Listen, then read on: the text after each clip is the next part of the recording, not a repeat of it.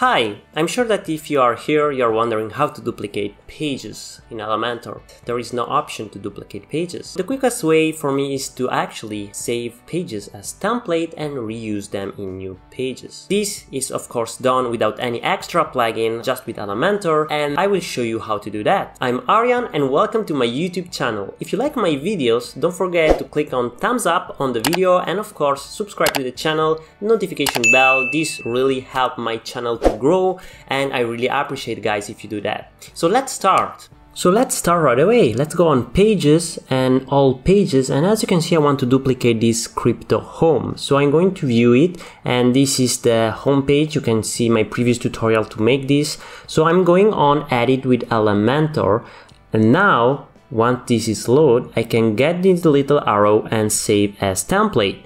Now I can give a name to the template.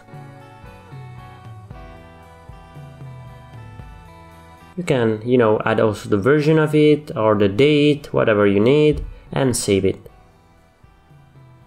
Great, now we have it here.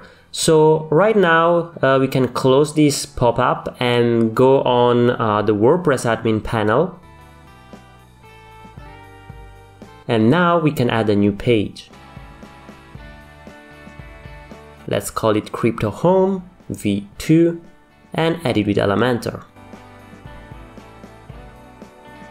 And now you can click on this little folder and now you have all the templates but if you click on my template tab you will find your uh, template that you previously saved so you can now insert it in the new page.